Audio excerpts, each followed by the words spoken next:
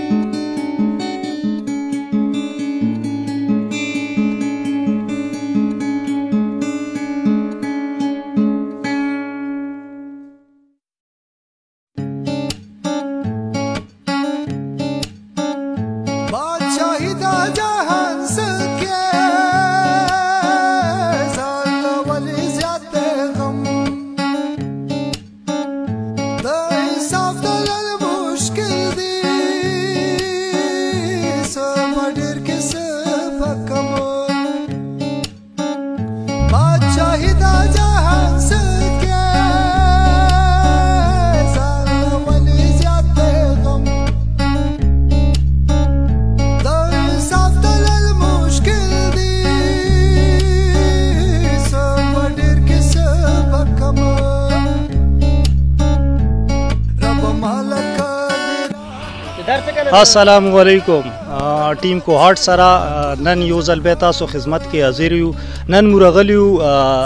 ببری بانډا ریلوی سټیشن ته مختلف ځایونو کې کیمپس باندې مون نظر لاړلو کوم چې خانه بدوش خلک آباد دي نو دو دزی سنگ ژوند تی رئی لگے کوم تکلیف سره کوم مسائل سره دو سم مسائل دي دو سم تکلیفات دي نن و ان شاء الله دا تاسو ته مخکې کوو او د حکومت نه سم مطالبات دا دو تم یو خ ژوند تیرونه حق دا خوشاله زندگی تیرونه حق دا ویلې چې دوم پاکستانین دي نو ان شاء الله دو سره بوز غب شپ لګو دو مسائل باره کې به دو سره خبره کو نو رسې مو سره چې دو سره خبره وکړو د زی مو سمره وخت شو یره دل د 15 سال او څنګه څنګه ژوند څنګه د دزي الحمدلله بس دا زندگی را تاسو مخ کې ګوري او مطلب دا غریبی الله شل روپو لري پر کله یو خو کله بل خو او بس دا خلک وای دی په لاړ شو بل خلک وای بل په لاړ شو مطلب دا چې مو هیڅ زندگی نشته په یو پاکستانان روډ مری پاکستانان دا د خو پادشاه تیرېږي وزیر اعظم تیرېږي د خو تیرې خمو ګوري روډ په غاړي تاسو ووټ شته دا ووټ پاکستان کارډ ووټ کله رغلی دی الیکشن والا سو سو ظلم او تاسو مطالبه کړی دا هر سمو کړی چا سنري هیڅ چا نه دی کړی مشکلات خو تاسو ته الریډي ډیر زیات وي خاص مشکلات تاسو ته چی شي دي بجلی زمکا چی شي زمکه جی ډیر ضرورت ته خیر دو کو بنې وی خو لکه سر امن وو د بچو امن مو جوړ شي حساب جوړ شي دا غټه خبردار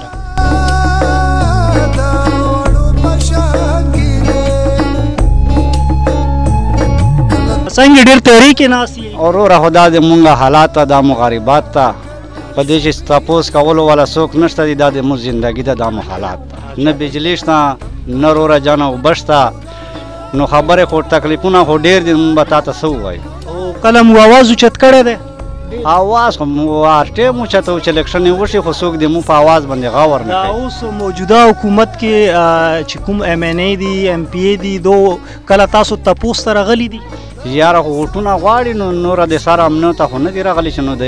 خلکو د امن په کار ده کنه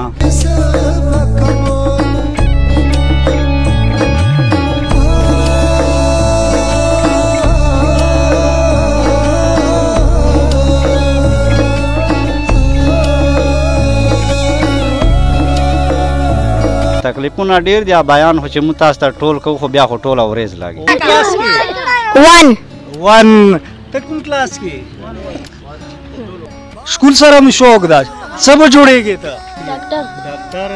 ډېر اعلی ډېر اعلی ته به څه جوړېږې ډاکټر شاباش سره چې شي کمی ده سکول زمکا بجلی چې شي کمی ده تاسو یې کیمرې ته وګورئ زمکا او د زمو سره یو عادي ناسته ده عادي سره د بری کې خبره کو چې دا خپل مشکلات څنګه پیش کړي نو السلام علیکم عادي ګلی وعلیکم السلام عادي ګلی څنګه بخیر خیر ته څنګه ژوند مو څنګه ده ژوند مو داسې د ژوندۍ ته مو ګوره چې مو ډېر غریبانو دي تموانو خلک یو د مو په دې پاکستان کې هیڅ نشته چې مو د څوک یې مت راکړي مو د تموان ګوره مو بجلی شته نه مو اوبه شته ماشومان مو در په در دي تعلیم مو نشته ده جومات مو نشته ده چې مو چې د ماشومانو ته مو چې ته داسې وکړو چې جومات ته جوړ کړو څه جوړ کړو ماشوم مو سبق ووایي مو هغسې بې روا ټول ستر شوي یو پکې دې پاکستان کې دوره مسلمان نشته چې مو ته لاس راکړي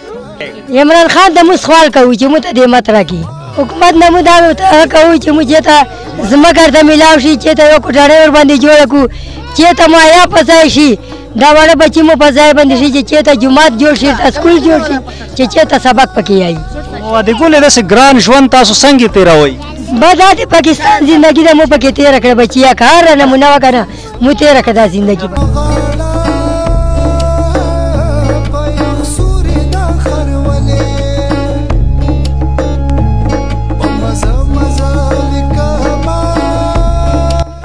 نو ګرانو کتونکو دا مو سره یو ډیر معزز غونې کس ناز دا بزرګ غونې او د سره وو غب شپ لګاو دا د باره کې سی خپل حالات باره کې خپل مسایل باره کې څومره وخت مو شو د ما خدالته 30 کال وتل 30 کال ماشاءالله خلکو ته وټونه ور کړی دي اوس نو پټای ته وټ ورکو د مور ته پوس چان نه کړ نه مو مزکستان نه مو جیداستا یو پاکستان شینه ته کټونه موستا ارشه موستا او موږ دا تور سره یو بچی مو در په در دی خاک بدان ته د حالت مو ګورو موږ ته حکومت ته طرف نه هیڅ نه میراو نو موږ ته حکومت مهرباني کوي چې موږ ته خپل مسایل میراو شي موږ ته امداد میراو شي موږ ته کورونه جوړ کړي موږ ته ځایونه جوړ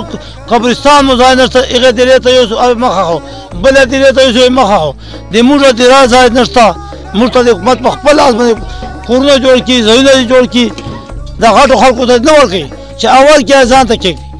مرته پوز نه کوي دا د لبن تیرېږي مو بچي وګور ولا ایم پی ای ایم ان ای وغیرہ د زیره غل دا ایسو نه دی غري ایسو نه دی غري چا سو تاسو نه تاسو کړه نه غل نه قسم د کچا داسي به چې دا نه نه خو 1500 ټیکړه مې راوړه د غریبان من ویش کا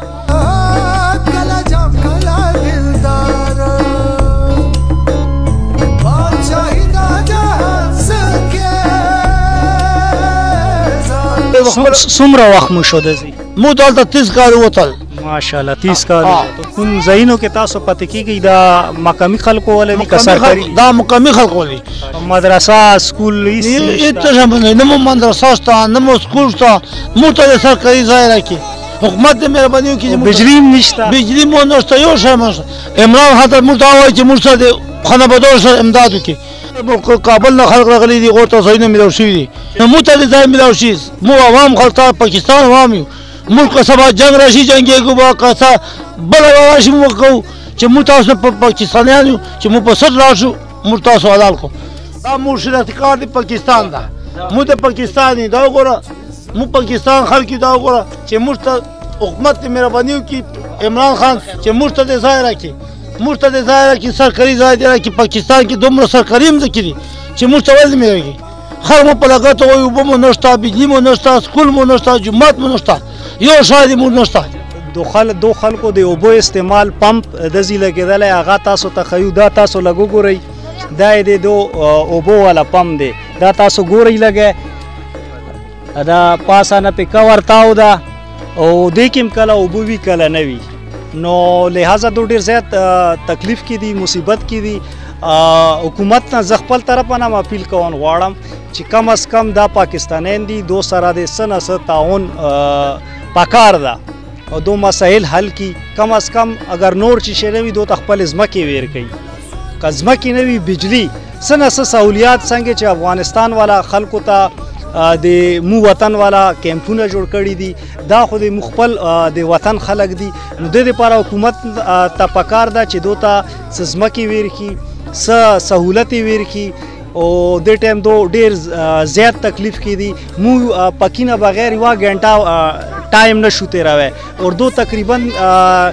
یی لګی چې مو د 30 سال شو دا تاسو وکتلو خانبادوش خلکو ولا ژوند چې څومره ګران ژوند ده او موته د خپل هغه باندې شکر وبستن پکار ده چې موته ارس 220 دي هغه نه باوجود مو خلک ناشکر یو اجازه غواړو ټیم کوارډ سره تاسو هوست منیر شاه کیمرامین